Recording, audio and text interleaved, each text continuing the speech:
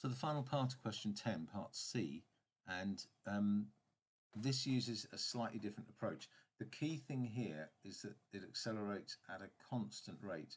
So if we're looking at the velocity time graph, looking at t on the bottom here and vt on the side, um, we know that we've got the velocity increasing at a, a constant rate, unlike before. Um, this is just, this graph is just for the second stage, okay? This is just looking at the second stage of the graph, not the first stage. I haven't plotted the graph for that. We know that the initial velocity for the second stage is 375. We're told that from the first part of the question. And we know that the final velocity for the second stage is 500. Again, we're told that in the question. So we need to find um, this distance here. Well, we know this distance here. This is the same distance as in um, part B. So we know this area. Okay. What we need to find is the value of t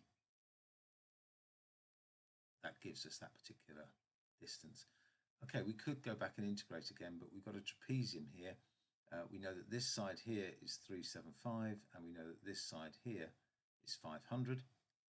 Uh, so we know that the area of the trapezium is a half times 375 plus 500. It's the mean of the parallel sides times t.